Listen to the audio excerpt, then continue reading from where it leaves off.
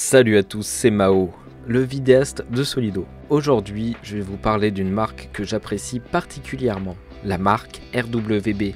Ce mois-ci, nous allons sortir deux voitures de ce préparateur. Allez, c'est parti Mais qu'est-ce que RWB RWB, c'est l'abréviation de la phrase en allemand qui veut dire s'arranger de la norme est hors de question. L'activité principale de RWB est la fabrication de kits carrosserie. Le kit inclut le kit large des jantes Meister de chez Work, une marque japonaise, un échappement custom, des suspensions et des stickers. RWB était dans un premier temps un petit atelier dédié à Porsche dans la ville de Kashiwa, de la province de Shiba. Mais la marque s'est vite répandue à toute la terre entière avec des franchises dans plusieurs pays. C'est une marque assez récente qui a commencé à se faire connaître surtout à partir des années 2010-2011. La première RWP populaire est la Stellar, toi, la 01. Pourquoi avoir choisi une marque de bière pour euh, faire le thème de sa première voiture? Bah tout simplement parce que c'était la bière préférée du créateur depuis un voyage qu'il avait fait en Europe. RWB était au début surtout implanté au Japon. Mais grâce à Mark Arsenal, le créateur de Fad Lace et Illest, et aussi Brian Scotto, assez connu pour être le cofondateur de Unigan. Quelques années avant Unigan, Mark était dans l'équipe d'un magazine papier nommé Zero 60. Et grâce à Toshiya Ishiraku, qu'il a rencontré à l'occasion d'un article justement, il a eu le contact de Akela Nakai, le créateur de RWB. Suite à ça, les deux premières RWB américaines furent ensuite fabriquées, avec en premier celle de Brian et ensuite celle de Mark. Les deux voitures ont été fabriquées ensemble à deux jours d'intervalle.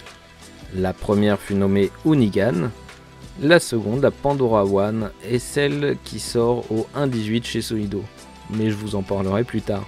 RWB est devenu tellement connu que même en Malaisie, il y a eu un musée de créer. La base est quasiment toujours faite sur une Porsche 911 à refroidissement à air, à part quelques exceptions. Il semblerait que la Multipla de Villebrequin, qui n'est pas encore tout à fait annoncée, soit faite par RWB. On peut s'en douter grâce au choix de leur jante et quelques indices, mais rien n'est sûr encore. Les modèles utilisés sont les Porsche 930, 964 et 993 avec en test quelques protos de 997 pour le futur de la marque. Les jantes arrière sont souvent très larges, pouvant atteindre les 13-14 pouces de large. Parmi les modèles les plus extrêmes, nous pouvons évoquer la Rotana avec sa peinture violette flashy et son double aileron en rajout de rajout. Ou encore la Baphomet Dragon Eagle. Le look rappelle beaucoup les Kaido Racer. Kaido Racer en japonais, qui sont entre autres les voitures des Bosozoku, un style qui revient d'ailleurs à la mode sur Instagram depuis un ou deux ans, peut-être une influence de RWB. Qui est Akira Nakai Il a commencé à se faire connaître grâce à la modification de Toyota AE86 préparée pour le drift. Cette voiture-là est assez populaire au Japon et était beaucoup utilisée pour cette discipline. Le groupe de drifters dont il était le chef se nommait Roust World rappelle un peu RWB, RW. Il est fan de Porsche depuis son enfance, depuis tout petit.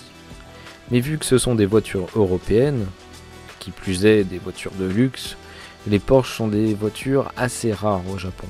L'histoire raconte qu'un jour, dans son garage, quelqu'un lui a ramené une Porsche accidentée. C'était l'élément déclencheur. Il l'a racheté et pu en faire ce qu'il voulait.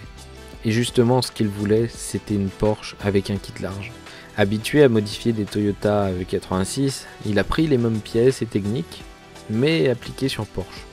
Et c'est de là qu'a commencé la marque RWB. Petite anecdote, à chaque déplacement, il souhaite une cartouche de cigarette, un paquet de coca et un fauteuil en cuir. Considéré comme un artiste pour beaucoup de monde, il joue souvent de cette image. Il y a beaucoup de légendes urbaines sur lui au point d'en faire un vrai personnage. Parmi ses exigences, les voitures qu'il réalise n'appartiennent pas totalement au propriétaire. En tant que créateur, il se donne le droit d'emprunter lorsqu'il le souhaite n'importe quel RWB n'importe où dans le monde. Pour l'anecdote, en 2015, il est apparu dans le jeu Need for Speed.